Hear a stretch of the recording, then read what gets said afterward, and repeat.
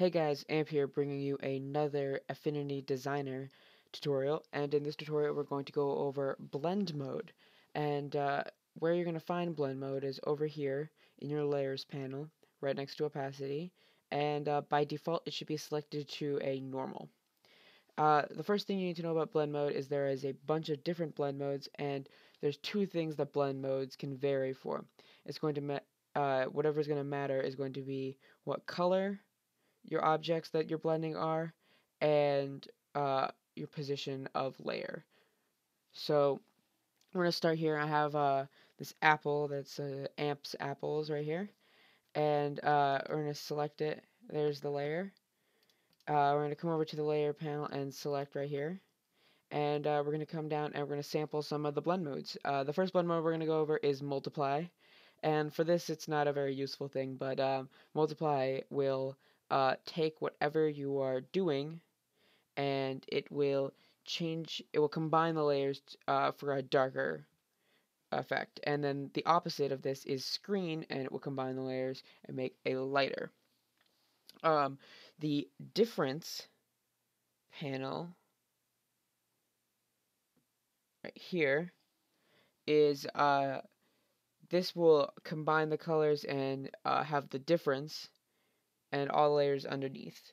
Um, uh, this is very useful if you're having something light on something dark. It makes a really cool effect for that.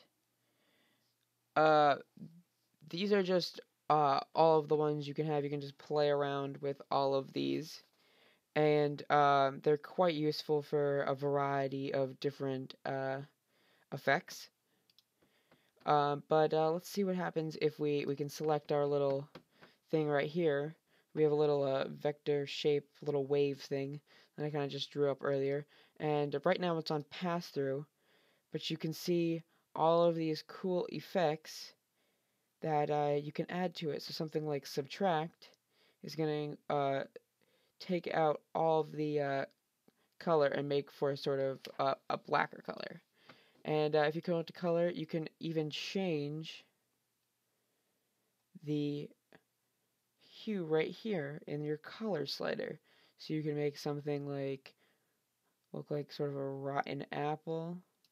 And then you can even clean up this if you wanted to make something look like a rotten apple right here. Um, there's a bunch of different uh, uses for it.